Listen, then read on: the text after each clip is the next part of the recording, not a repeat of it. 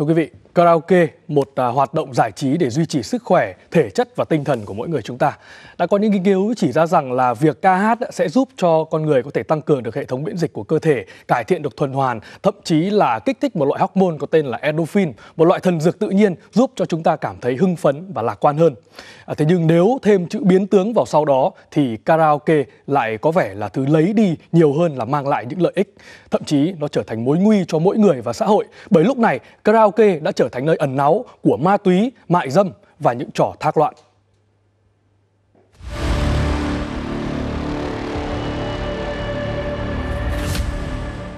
không đi tiếp khách sẽ bị roi điện và bị hù ờ, dao bấm và cả súng thiệt đấy chị bữa nay là cũng không được liên quan thấp nhất một triệu rưỡi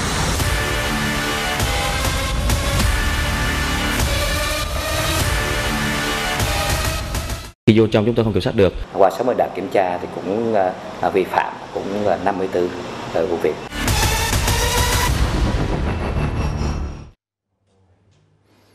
Vâng, có cầu thì sẽ có cung và ngược lại. Dễ nhận thấy là ở phía cung cấp dịch vụ, tâm điểm sẽ là những hình ảnh phản cảm dưới ánh đèn xanh đỏ, những chiêu trò thác loạn trong những quán karaoke của những cô gái thiếu vải, nào là tắm bia, nào là múa lửa hàng đêm vân vân. Tất nhiên họ sẽ nhận được tiền cho dịch vụ của mình.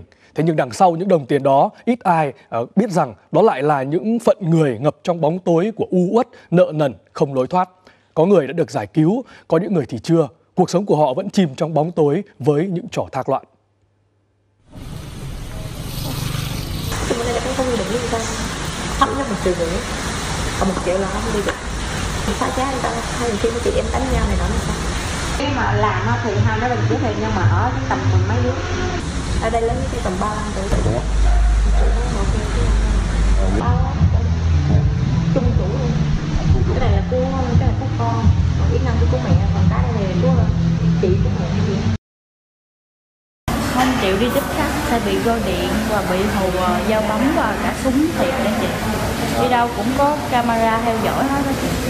Em muốn ra màu ra không được muốn ra chụp hình ờ, khuôn mặt của em lại rồi đó nếu mà ra là tìm về về nhà của em ừ, để cho ba mẹ em biết.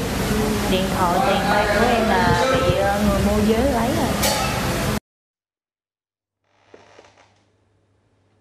Trong thời gian qua, nhiều đối tượng cung cấp tiếp viên cho những quán karaoke để hoạt động mại dâm, thác loạn đã bị công an thành phố Hồ Chí Minh triệt phá. Lời khai của đối tượng cầm đầu sau đây có thể sẽ khiến cho nhiều người rung mình bởi đây không chỉ là việc cung cấp dịch vụ mua vui nữa mà ở đó những cô gái khi rơi vào đường dây này đã bị ép buộc, thậm chí là đánh đập, đe dọa để rồi phải tự mình bán thân cho những trò vui kia. Năm đối tượng trong đường dây lừa bán các cô gái vào các động mại dâm, núp bóng karaoke, massage kích dục, cà phê chòi đã bị bắt ở Hóc Môn. Hơn 100 cô gái đã bị các đối tượng này lừa bán với giá mà chúng gọi là phí môi giới 3 triệu đồng. nhận được cái mối của bên karaoke người ta điện thuốc cho em thì em chuyển vào cái mối ở trong mấy đứa nó làm thôi. Nhưng mà mình phải nói trước với nhân viên chứ. À, như karaoke đó công việc là ôm ấp sờ mó và làm được không? Thu nhập tiền to tiền tỷ không có lương cứng. Ngày ví dụ bo ba trăm năm trăm thì tự hưởng. Thì người ta chịu. Vẫn là tiền phí là 3 triệu. Các nạn nhân thường bị bắt viết giấy tự nguyện xin làm việc như thế này. Khi đến điểm tập kết, sau đó là đe dọa để nạn nhân sợ.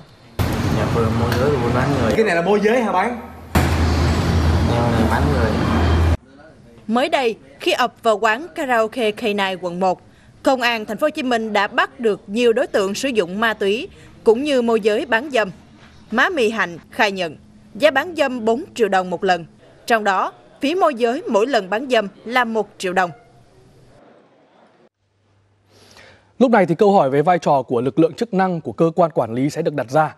Tuy nhiên có một thực tế là hiện nay nghị định mới về quản lý karaoke, vũ trường đã có hiệu lực. Tuy nhiên vẫn còn tồn tại nhiều bất cập khiến cho việc triển khai cấp phép còn nhiều lúng túng và việc ờ, kiểm tra giám sát ờ, gặp nhiều thực tế à, gặp nhiều khó khăn trong thực tế. Hầu như tuần nào, đội kiểm tra liên ngành 814 quận Thủ Đức thành phố Hồ Chí Minh cũng đi kiểm tra các cơ sở karaoke như thế này. Nếu phát hiện sai phạm thì cũng dừng ở mức xử phạt hành chính, còn các vi phạm khác như ma túy, mại dâm thì phải báo cho cơ quan công an. Đó là vi phạm trong cái quá trình hoạt động của họ là vi phạm hành chính thì chúng ta chỉ ờ, lập biên bản nhắc nhở hoặc là nếu họ vi phạm ờ, mà đến mức xử phạt thì chúng ta sẽ xử phạt theo quy định pháp luật ờ, là xử phạt vi phạm hành chính chứ mình không có chức năng là ngưng kinh doanh. Theo thanh tra Sở Văn hóa Thể thao và Du lịch Đồng Nai, nghị định mới quy định về điều kiện phòng và ánh sáng karaoke cũng không khắt khe như trước đây. Cửa kiến trong này cũng là không cần thiết này. Đèn hồi trước đây là có đèn là bao nhiêu lít, còn bây giờ là đèn bỏ luôn. Tức là không cần thiết mà phải đèn sáng, đèn mờ gì hết á. Đó là do thông thoáng trong nghị định. Nhưng mà cái khó khăn đặt ra cái chỗ là chúng tôi phải thường xuyên kiểm tra nhiều hơn. Chỉ 6 tháng đầu năm, tỉnh Đồng Nai đã kiểm tra 60 cơ sở kinh doanh karaoke thì xử phạt tới 54 cơ sở. Nếu có phát hiện các hoạt động ma túy, mại dâm thì cũng chỉ được quyền đề xuất rút giấy phép kinh doanh. Tuy nhiên, đề xuất đó có kết quả như thế nào vẫn còn phải đợi điều tra từ phía công an. Góc độ của ngành là vẫn cứ đề nghị cứ dính tới mà góc độ mà về ma túy là đề nghị là tước giấy phép vĩnh viễn.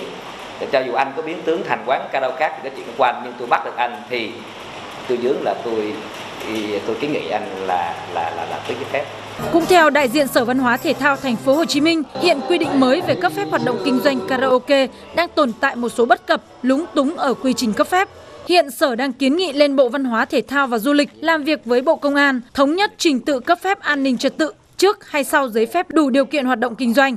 Trước đến giờ đó thì ngành công an đúng không? cấp cái giấy chứng nhận đăng ký ờ, đảm bảo an ninh trật tự sau khi ngành văn hóa có cái cấp giấy phép về hoạt động kinh doanh karaoke. Đó, thì công an mới căn vào đó cấp. Nhưng mà hiện nay đó, khi mà cái nghị định 54 có hiệu lực, thì người dân, người ta tới, cụ thể là đến trực tiếp các cái ờ, cơ quan công an để mà đề nghị cấp cái giấy an ninh trật tự thì là bị từ chối. Nhưng mà cái chuyện từ chối này đó, thì chẳng qua là mình cũng chỉ là nghe theo kiểu là dư luận xã hội chứ còn mà cụ thể ngành công an có văn bản nói là tôi không cấp bởi vì là anh chưa có giấy kia thì không có theo các nhà quản lý về văn hóa, nghị định mới đã tạo điều kiện thông thoáng trong cấp phép và không giới hạn số lượng quán karaoke theo quy hoạch như trước đây, đã tạo điều kiện cho các quán karaoke bùng nổ. Và nếu như không có thêm biện pháp giám sát, quản lý chặt chẽ ở khâu hậu kiểm thì những cảnh biến tướng, thác loạn như thế này vẫn tồn tại.